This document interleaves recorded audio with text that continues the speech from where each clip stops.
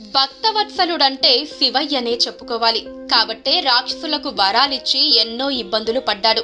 భక్తులను కాసేపు ఉడికించి ఊరడించిన కథలు చాలానే ఉన్నాయి.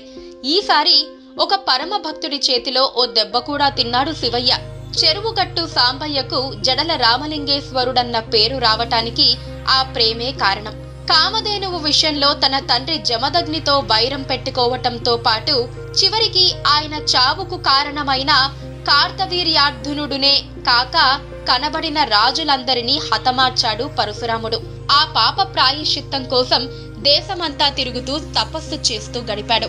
ఆ క్రమంలో నూట ఎనిమిది శివలింగాలను ప్రతిష్ఠ చేశాడు. అందులో చివరిదే నల్గొండ జిల్లా నార్కెట్పల్లి మండలం ఎల్లారెడ్డిగూడెంలోని చెల్వుగట్ట రామలింగేశ్వర లింగంగా చెబుతారు. ఈ ప్రదేశంలో ఓ గుహలో పరశురాముడు ఘోర తపస్సు చేశాడట.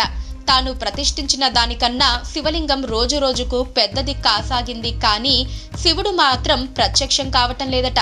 దీంతో కోపోద్రిక్తుడైన పరశురాముడు తన గొడ్డలితో శివలింగం మీద ఒక దెబ్బ వేశాడట. భక్తుడి కోపాన్ని గ్రహించిన పరమేశ్వరుడు వెను వెంటనే ప్రత్యక్షమయ్యాడట. శాంతించమని చెబుతూ ఆయన కోరినొట్టే కలియుగాంతం వరకు తాను అక్కడే ఉండి భక్తుల కోరికలు తీరుస్తానంటూ వరమిచ్చాడట. తర్వాత పరశురాముడు ఇక్కడే తపస్సు చేసుకుంటూ ఉండిపోయి చివరకు శివైక్యం అయ్యాడని పురాణ గాథ. ఇలా కొట్టడం వల్ల శివలింగం బీటలు వారి వెనుక వైపు జడలు జడలుగా జుట్టు ఉన్నట్టు కనిపిస్తుందట. అందుకే ఈయన్ను జడల రామలింగేశ్వరుడిగా పిలుస్తారు. ప్రస్తుతం కొండ మీద నిర్మించిన గుడిలో గుహాలయంలో స్వామి దర్శనమిస్తాడు. పార్వతీదేవి ఆలయం విడిగా ఉంటుంది. తెలంగాణ రాష్ట్రంలో ఉండే శివాలయాల్లో చెరువుగట్టు ప్రత్యేకమైనది.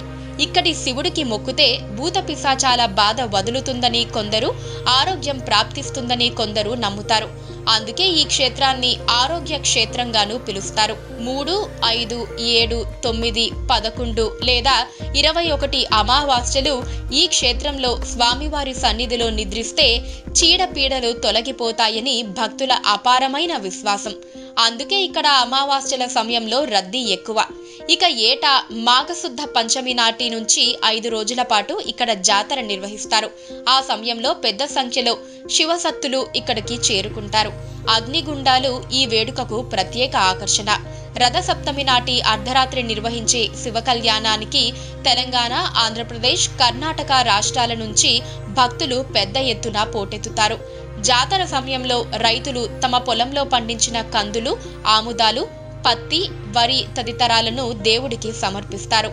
జాతరకు రైతులంతా ఎడ్లబండ్లపైనే సందడిగా వస్తూ ఉంటారు. ఆలయానికి సమీపంలో ఉండే మూడు గుండ్లు అనే ప్రాంతం ఇక్కడ ప్రత్యేక ఆకర్షణ. గుడికి కాస్త పక్కన ఓ చోట మూడు పెద్ద పెద్ద బండరాళ్ళు కనిపిస్తాయి. వాటిలో మొదటి రెండిటిని ఎక్కి మూడో దాన్ని చేరితే అక్కడ ఓ శివలింగం దర్శనమిస్తుంది. అయితే ఈ రాళ్ళను ఎక్కే దారి క్లిష్టంగా ఉంటుంది. రాయి నుంచి రాయిని చేరే మధ్యలో ఉండే సందు చాలా ఇరుకుగా ఒక బక్కపలచటి మనిషి అతి కష్టం మీద దాటే దారిలా కనిపిస్తుంది.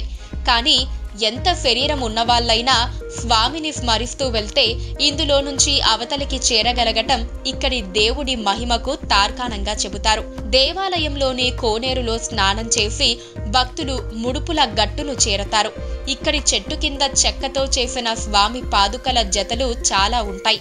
వాటిని శరీరం మీద ఉంచుకొని స్వామికి మొక్కుతారు. కోనేరులోని జలం పొలాల మీద చల్లుకుంటే మంచిదని నమ్ముతారు. ఇక్కడి హనుమ వీరభద్ర శివరేణుక తల్లి దేవాలయాలకు మంచి ప్రాశస్త్యం ఉంది చెరువుగట్టు హైదరాబాద్ నల్గొండ ప్రధాన రహదారిలో హైదరాబాద్ నుంచి సుమారు తొంభై కిలోమీటర్ల దూరంలో ఉంది. హైదరాబాద్ నుంచి నల్గొండ వెళ్ళే ప్రతి బస్సు చెరువుగట్టు నుంచే వెళ్తుంది.